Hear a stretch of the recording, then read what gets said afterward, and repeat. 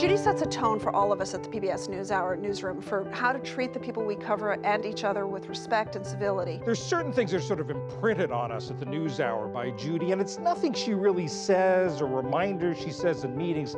It's really just leading by example. You need someone at the top who's going to be there every day, who's going to lead in the same way, who's always going to uphold the standards that you all are trying to meet. And Judy does that. Her leadership in bringing each nightly news broadcast to air is really quite extraordinary. What impresses me about Judy is her kindness and her intelligence and her empathy and how much she cares about other people.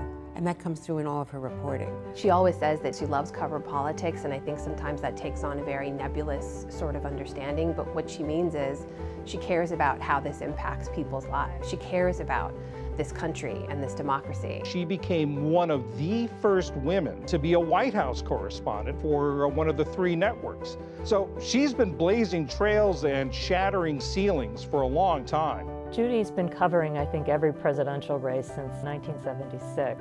Coverage of conventions, of presidential debates, moderating those debates, and interviewing presidents. She's just a star when it comes to doing the tough interview and doing it brilliantly.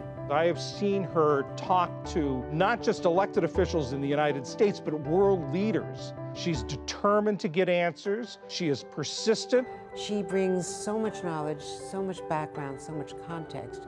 That is the value for the viewers, for anyone who wants just the best take on the events of the day and within the context of history. People like Judy provide the public someone they can look to every day, someone they invite into their homes every day, and say, I trust you.